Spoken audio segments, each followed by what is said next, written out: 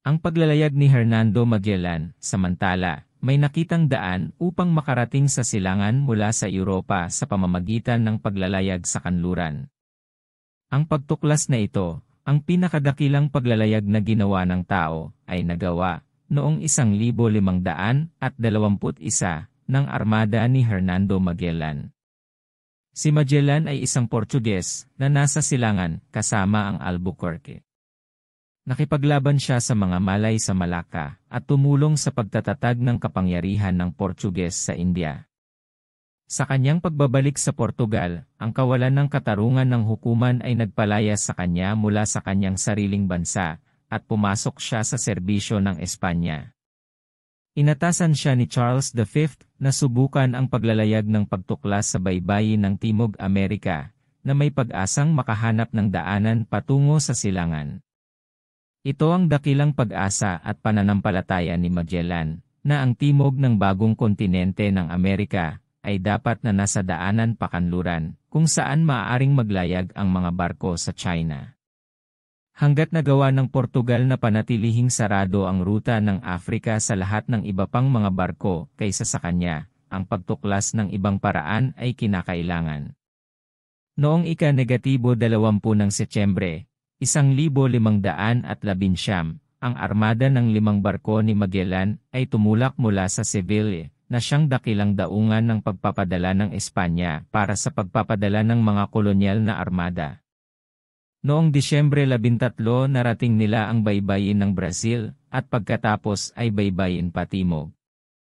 Nakipagkalakalan sila sa mga katutubo, at sa bukana ng Rio de la Plata ay nanatili ng ilang araw upang mangisda. Ang panahon ay mabilis na lumamig at mas mabagyo habang sila ay lumayo sa timog at nagpasya si Magellan na huminto at magpalamig sa look ng San Julian. Dito ang lamig ng taglamig, ang mga bagyo, at ang kakulangan ng pagkain ay nagdulot ng pagsasabuatan sa kanyang mga kapitan upang maghimagsik at bumalik sa Espanya. Kumilos si Magellan ng may mabilis at kakilakilabot na enerhiya. Siya mismo ay sumakay sa isa sa mga mapanghimagsik na sasakyang dagat, pinatay ang punong nagsasabuatan gamit ang kanyang sariling kamay, pinatay ang isa pa, at pagkatapos ay namaroon o iniwan sa kanilang kapalaran sa dalampasigan, isang trail at isa pa, na mga pinuno sa pakana. Ang kipot ng Magellan, ang armada, ay muling naglayag patimog noong Agosto, ngunit noong Nobyembre 1, 1520 nakapasok si Magellan sa mahaba at mabagyong mga kipot na nagtataglay ng kanyang pangalan at nag-uugnay sa karagatang Atlantiko at Pasipiko. Sa timog ng mga ito ay malalaking madidilim na isla, malamig at tiwangwang.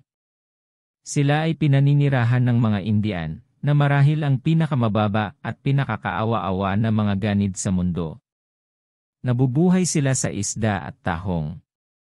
Sa kanilang paglakad sa lahat ng oras na hubot-hubad, dinadala nila sa kanilang mga bangka ang mga tatak at mga baga ng apoy. Nang makita ang maraming ilaw sa dalampasigan, pinangalanan ni Magellan ang mga islang ito na Tierra del Fuego, ang Land of Fire. Sa loob ng dalawampung araw ang mga barko ay nakipaglaban sa salungat at palipat-lipat na hangin na namamayani sa daluyan na ito, kung saan ang isang barko ay umalis at bumalik sa Espanya. Pagkatapos ang natitirang apat na barko ay dumaan sa walang hangganang tubig ng Pasipiko.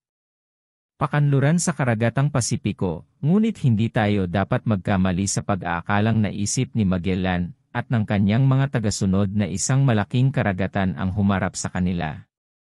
Inaasahan nila na ang simpleng paglayag pahilaga sa latitude ng Spice Islands ay magdadala sa kanila sa mga gustong lugar na ito. Ginawa nila ito, at pagkatapos ay lumiko pakanluran, umaasang bawat araw ay mahahanap ang Indies, ngunit walang lupang lumitaw. Ang mga araw ay humaba sa mga linggo, ang mga linggo ay naging mga buwan, at patuloy pa rin ang mga ito, na dinadala ng mga hanging pangkalakal sa ibabaw ng isang dagat na napakakinis, at walang mga unos na tinawag ni Magellan na Pacific. Ngunit labis silang nagdusa dahil sa kakulangan ng pagkain, kahit na kinakain nila sa kanilang gutom ang mga katad na lambanog sa mga palo. Ito ay isang kakilakilabot na pagsubok ng kanilang katapangan. Dalawampu sa kanilang bilang ang namatay. Ang Timog Pasipiko ay puno ng mga isla, ngunit nakakagulat na ang kanilang ruta ay napakalayo sa hilaga upang makita sila. Mula noong Nobyembre 28, nang sila ay lumabas mula sa kipot ng Magellan, hanggang Marso 7, nang marating nila ang Ladrones, dalawang isla lamang ang kanilang nakasalubong, at ito ay mga maliliit na batong hindi nakatira, walang tubig o pagkain, na sa kanilang mapait na pagkabigo ay tinawag nilang Las Desventuradas. Ang mga isla sa Kapuspalad Ang Ladron Islands, ang kanilang kaluwagan, ay malamang na hindi maipahayag ng, sa pag-akyat sa lupain noong ika-negatibo 7 ng Marso, nakakita sila ng mga naninirahan at pagkain, ubi, nyog, at palay. Sa mga islang ito unang nakita ng mga Kastila ang prao, kasama ang magaan nitong outrigger, at matulis na layag. Napakarami ng mga sasakyang ito na tinawag nilang Las Islas de las Velas, ang mga isla ng mga layag, ngunit ang pagkawala ng bangka ng barko, at iba pang nakakainis na pagnanakaw ay humantong sa mga mandaragat na italaga ang mga isla na Los Ladrones, ang mga magnanakaw, isang pangalan na pinananatili pa rin nila. Ang mga isla ng Pilipinas, Samar, pag-alis sa Ladrones naglayag si Magellan, patungo sa kanluran na hinahanap ang Molucas, at ang unang lupain na kanyang nakita ay ang silangang baybayin ng Samar. Sinabi ni Pigafetta, sa Sabado, ika-negatibo labing anim na ng Marso, nakita namin ang isang isla na may napakatayog na mga bundok.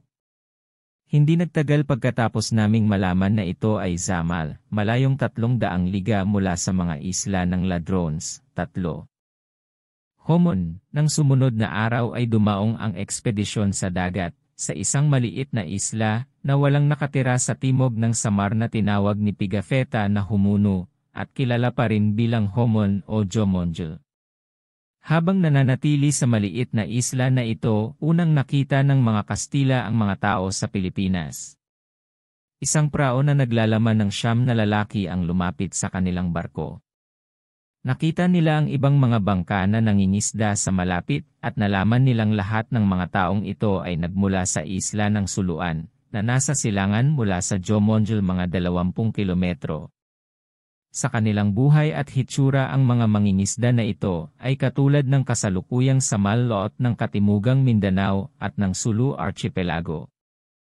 Lima sawa, sinasabi ni Pigafetta, na nanatili sila sa isla ng Jomonjel ng walong araw, ngunit nahirapan sila sa pagkuha ng pagkain. Dinalhan sila ng mga katutubo ng ilang niyog at dalandan, alak ng palma, at isang manok o dalawa, ngunit ito lamang ang natitira, kaya, Noong ika-negatibo 25, muling naglayag ang mga Espanyol, at malapit sa dulong timog ng Leyte ay dumaong.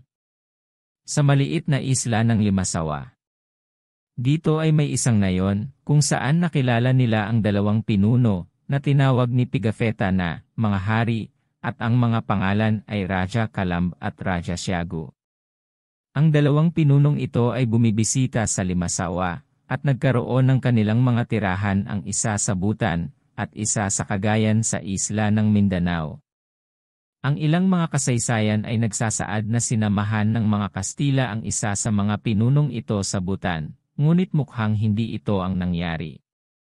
Sa isla ng Limasawa ang mga katutubo ay may mga aso, pusa, baboy, kambing, at ibon. Nagtatanim sila ng palay, mais, breadfruit, at mayroon ding mga nyog, dalandan, saging, sitron, at luya. Ikinuwento ni Pigafetta kung paano niya binisita ang isa sa mga pinuno sa kanyang tahanan sa Dalampasigan. Ang bahay ay itinayo tulad ng mga bahay na Pilipino ngayon, nakataas sa mga poste at pawid. Naisip ni Pigafetta na mukhang parang dayami. Ito ay ang araw ni San Lazarus nang unang marating ng mga Kastila ang mga islang ito, kaya't ibinigay ni Magellan sa grupo ang pangalan ng Archipelago of St. Lazarus, ang pangalan kung saan ang Pilipinas ay madalas na inlarawan sa mga unang sulat, bagamat isa pang titulo, ang Islas del Poniente o Isla ng Kanluran, ay mas karaniwan hanggang sa panahon na naging maayos ang titulong Filipinas. Cebu, ang mga tao ni Magellan ay lubhang nangangailangan ng pagkain, at ang populasyon sa Limasawa ay may napakakaunting supply. Dahil dito, itinuro siya ng mga katutubo sa isla ng Cebu at binigyan siya ng mga gabay. Ang pag-alis sa Limasawa ay tumulak ang armada patungong Cebu na dumaan sa ilang malalaking isla, kabilang sa mga ito ang Bohol, at nakarating sa daungan ng Cebu noong linggo, ika-negatibo 7 ng Abril. Isang basura mula sa Siam ang nakaangkla sa Cebu nang dumating ang mga barko ni Magellan doon, at ito, kasama ang kaalaman na ipinakita ng mga Pilipino sa mga nakapaligid na bansa, kabilang ang China sa isang panig at ang Molucca sa kabilang panig, ay karagdagang katibayan ng malawak na ugnayang pangkalakalan sa panahon ng pagtuklas. Ang Cebu ay tila isang malaking bayan, at iniulat na higit sa dalawang libong mandirigma, kasama ang kanilang mga sibat ang lumitaw na lumaban sa paglapag ng mga Kastila, ngunit ang mga kasiguruhan ng pagiging palakaibigan sa wakas ay nanalo sa mga Pilipino, at si Magellan ay nakipagkasundo sa dato ng Cebu na ang pangalan ay Hamalbar. The Blood Compact, inimbitahan ng dato si Magellan na selyuhan ang kasunduan na ito alinsunod sa isang kakaibang kaugalian ng mga Pilipino. Sinugatan ng bawat pinuno ang kanyang sarili sa dibdib, at mula sa sugat ay sinipsip at ininom ng bawat isa ang dugo ng isa. Hindi tiyak kung nakilahok si Magellan sa Blood Compact na ito, gaya ng tawag dito, Ngunit kalaunan ay naobserbahan ito ng maraming beses sa pamayanan ng mga Espanyol sa mga isla, lalo na ni Legazpi. Ang mga katutubo ay labis na nabighani sa paglilingkod sa misa, na ipinagdiwang ng mga Kastila sa kanilang paglapag, at pagkatapos ng ilang paghihikayat ay nagnanais na matanggap sa relihiyon ng mga Kastila. Mahigit walong daan ang nabinyagan, kabilang si Hamalbar. Ang mga Kastila ay nagtatag ng isang uri ng pabrika o trading post sa Cebu at sa loob ng ilang panahon ay nagkaroon ng kumikitang kalakalan. Naiintindihan ng mga Pilipino ang pangangalakal, may mga timbangan, timbang, at panukat, at patas na mga mangangalakal. Kamatayan ni Magellan, at ngayon ay kasunod ng malaking trahedya ng ekspedisyon. Ang dato ng Cebu o ang Kristyanong hari gaya ng tawag ni Pigafetta sa kanilang bagong kaalyado, ay nakipagdigma sa mga taga-isla ng Mactan. Si Magellan, nasabik na tumulong sa isa na tumanggap ng pananampalatayang kristyano, ay dumaong sa Mactan 81, kasama ang 50 tao at sa naganap na labanan ay napatay sa pamamagitan ng palaso sa paa at sibat na tumagos sa dibdib. Kaya namatay ang isa na walang alinlangan na pinakadakilang explorer at pinakamapangahas na adventurer sa lahat ng panahon. Kaya, sabi ni Pigafetta, namatay ang aming gabay, ang aming liwanag, at ang aming suporta. Ito ang pinakapangunahing kapahamakan ng ekspedisyon. The fleet visits other islands, pagkatapos ng kamatayan ni Magellan, ang mga katutubo ng Cebu ay bumangon at pinatay ang bagong halal na pinuno, si Serrano, at ang armada sa takot ay itinaas ang mga angkla nito at naglayag patungong timog mula sa mga Bisaya. Nawalan sila ng 35 lalaki, at ang kanilang bilang ay nabawasan sa isang daan at labinlima. Ang isa sa mga barko ay nasunog, napakakaunting mga tao ang nakaligtas, upang humawak ng tatlong sasakyang dagat. Matapos makarating sa kanlurang Mindanao, naglayag sila pa kanluran, at nakita ang maliit na grupo ng Cagayan Sulu. Ang kaunting mga naninirahan na kanilang natutunan ay mga Moro na ipinatapon mula sa Borneo. Dumating sila sa Paragua na tinatawag na puluan, sa makatuwid ay Palawan, kung saan napagmasdan nila ang esports ng cockfighting na pinapakasawa ng mga katutubo. Mula rito, naghahanap pa rin ng Molucas, sila ay ginabayan sa Borneo, ang kasalukuyang lungsod ng Brunei. Narito ang makapangyarihang kolonya ng Mohamedan, na ang mga adventurer ay nakikipag-ugnayan na sa Luzon at nakapagtatag ng isang kolonya sa lugar ng Maynila. Ang lungsod ay nahahati sa dalawang seksyon, ang mga Mohamedan Malay, ang mga mananakop, at ang mga Jack, ang primitive na populasyon ng isla. Bulalas ni Pigafetta ang kayamanan, at kapangyarihan nitong Mohamedan na lungsod. Naglalaman ito ng 25,000 pamilya, ang mga bahay na halos itinayo sa mga tambak sa ibabaw ng tubig. Ang bahay ng hari ay gawa sa bato, at sa tabi nito ay isang malaking kuta ng laryo, na may mahigit 60 tanso at bakal na kanyon. Dito nakita ng mga Kastila ang mga elepante at kamelyo, at nagkaroon ng mayamang kalakalan sa luya, kampor, gum, at mga perlas mula sa Sulu. Pinigil ng mga labanan ang kanilang pamamalagi dito, at sila ay naglayag patungong silangan sa kahabaan ng hilagang baybayin ng Borneo sa pamamagitan ng Sulu Archipelago, kung saan ang kanilang pagiging kupid ay nasasabik ng mga perlas na pangisdaan, at hanggang sa Maguindanao. Dito ay dinala nila ang ilang mga bilanggo, na nagpilot sa kanila sa timog sa Molucas, at sa wakas, noong Nobyembre 8, sila ay nakaangkla sa Tidor. Ang mga isla ng Molucca sa panahong ito ay nasa kasagsagan ng kapangyarihan ng Malayan. Ang pinuno o hari ng Tidor ay si Almanzar, ng Ternate Corala, ang hari ng Gilolo ay si Yusef.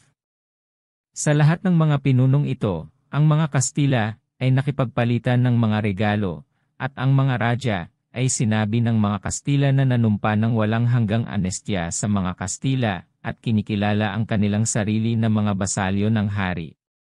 Bilang kapalit ng mga tela, ang mga Kastila ay naglagay sa isang mayamang kargamento ng mga clove, sandalwood, luya, kanela, at ginto.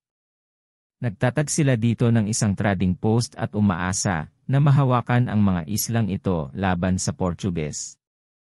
Ang pagbabalik sa Espanya, napagdesisyonan na magpadala ng isang barko, ang Victoria, sa Espanya sa pamamagitan ng rutang Portuges at Cape of Good Hope, habang ang isa ay babalik sa Amerika. Alinsunod dito ang Victoria, kasama ang isang maliit na tripulante ng anim na pung tao, labintatlo sa kanila ay mga katutubo, sa ilalim ng utos ni Juan Sebastian del Cano, ay tumulak. Ang daanan ay hindi alam ng mga Espanyol at puno ng mga panganib.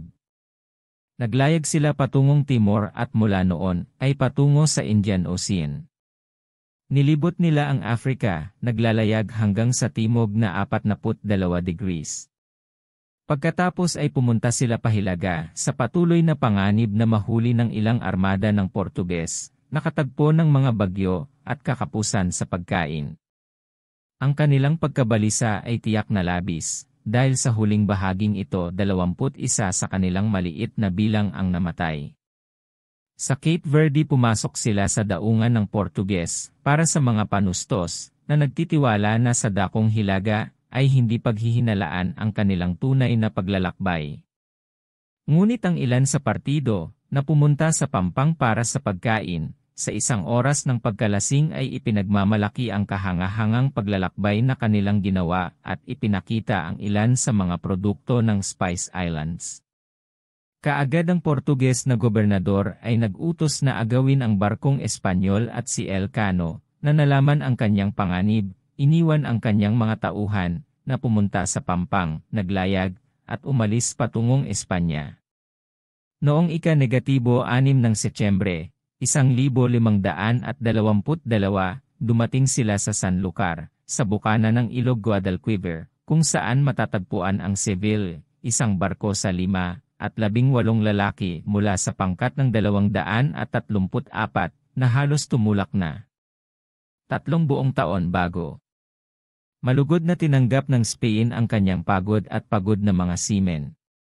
Si Elcano ay binigyan ng titulo ng Maharlika, at ang sikat na coat of arm na nagpapakita ng mga spray ng clove, cinnamon, at nutmeg, at ang effigy ng globo na may moto, ang pinakamayabang at karapat-dapat na ipinakita sa anumang kalasag ng adventurer, hic primus circumdedistimi. The first circumnavigation of the earth. Kaya sa matinding pagdurusa at pagkawala ng buhay ay naganap ang unang pag-ikot sa mundo. Pinatunayan nito na ang Asya, ay mararating, bagaman sa pamamagitan ng isang mahaba at paikot-ikot na ruta, sa pamamagitan ng paglalayag pakanluran mula sa Europa. Ipinaalam nito sa Europa na ang pinakadakila sa lahat ng karagatan ay nasa pagitan ng bagong daigdig at Asya, at ipinakita nito na ang daigdig ay walang katulad na mas malaki kaysa sa pinaniniwalaan at inaakala. Ito ang pinakadakilang paglalayag ng pagtuklas na nagawa, at higit pa sa magagawang muli. Bagong lupain na nahati sa pagitan ng Espanya at Portugal, sa pamamagitan ng pagtuklas na ito sa Pilipinas, at sa isang bagong daan patungo sa Spice Islands, nagkaroon ng mahabang alitan ang Espanya sa Portugal. Sa simula ng makabagong panahon, walang sistema ng mga tuntunin sa Europa kung saan mag-regulate ng pag-uugali sa pagitan ng mga estado. Ang sistema ng mga regulasyon at kaugalian na tinatawag nating internasyonal na batas, at kung saan ang mga estado sa kasalukuyang panahon ay ginagabayan sa kanilang mga pakikitungo, ay hindi lumitaw. Sa gitna ng edad, ang mga alitan sa pagitan ng mga soberanya, ay madalas na naaayos sa pamamagitan ng pagtukoy sa emperador o sa papa, at ang huli ay madalas na nagigiit ng kanyang karapatang tukuyin ang lahat ng mga katanungang maaaring lumabas. Inangkin din ng Papa na may karapatan siyang itapon ang lahat ng pagano at mga bagong tuklas na lupain at mamamayan. Kaya, pagkatapos ng pagtuklas ng East Indies ng Portugal at ng West Indies ng Espanya, hinati ni Pope Alexander VI ang mga bagong lupain sa pagitan nila. Ipinahayag niya na lahat ng mga bagong tuklas na bansa sa kalahati ng mundo sa silangan ng isang meridian, na isang daan liga sa kanluran ng Azores, ay dapat na Portuges, at lahat sa kanlurang Espanyol. Kasunod nito, inilipat niya ang linyang ito sa dalawang daan at pitumpu liga sa kanluran ng Azores. Ang dibisyong ito, ito ay dapat, ay magbibigay sa India, at mga isla ng Malay sa Portugal, at sa Espanya ang Indies na natuklasan ni Columbus, at ang bagong daigdig, maliban sa Brazil. Sa katunayan, ang isang daan at 80 degrees kanluran ng meridian na huling itinakda ng Papa, ay umaabot sa kanlurang bahagi ng New Guinea, at hindi sa Moluccas, ngunit sa kawalan ng eksaktong geographical na kaalaman, ay inaangkin ng dalawang partido ang Spice Islands. Ipinagkait ng Portugal sa Espanya ang lahat ng karapatan sa Pilipinas, at, tulad ng makikita natin, nagsimula ang isang salungatan sa malayong silangan, na tumagal ng halos buong siglo. Nahuli ng Portugal ang mga mangangalakal, na iniwan ng Elcano sa Tidor, at sinira ang istasyon ng Espanyol sa Spice Islands. Ang Trinidad, ang isa pang barko, na nilayon upang bumalik sa Amerika, ay hindi makapaglayag laban sa malakas na hangin, at kailangang ibalik sa Tidor, pagkatapos maglakbay sa tubig sa paligid ng New Guinea. Epekto ng siglo ng mga pagtuklas, ang pag-ikot na ito sa mundo, ay nakumpleto ang isang panahon ng pagtuklas na nagsimula isang daang taon bago ang mahiyain, mabagal na pagtatangka ng mga Portuges sa baybayin ng Afrika. Sa mga taong ito ay nagbukas ang bagong panahon. Sa simula nito, kakaunti ang nalaman ng Europeo tungkol sa sinumang mga tao sa labas ng kanyang sariling mga bansa, at wala siyang hawak na isang milya ng lupain sa labas ng kontinente ng Europa. Sa pagtatapos ng isang daang taon, ang mundo ay naging lubos na kilala, ang lahing Aprikano, ang mga mamamayang Malay, ang mga American Indian, at ang mga taga-isla sa Pasipiko ay lahat ay nakita at inilarawan, at mula ngayon ang kasaysayan ng puting lahi ay upang maging konektado 87 sa mga ibang lahi na ito. Nagsimula na ang panahon ng kolonisasyon, ng kalakalan at pakikipagtalik sa buong mundo. Ang puting tao, na noon pa man ay mahigpit na idiniin sa Europa, muli at muli na nagbanta sa pananakop ng Mohamedan, ngayon ay tatakpan ang mga dagat ng kanyang mga armada at lahat ng mga lupain ng kanyang kapangyarihan.